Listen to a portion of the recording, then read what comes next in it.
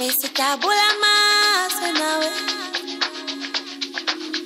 Sidabula amazwe nawe Besidabula sesidlule kokuningi nawe.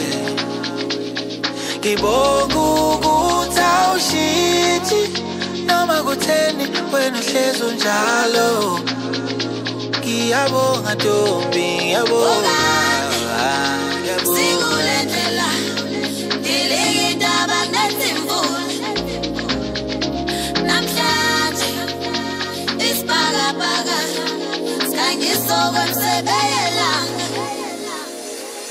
Hello.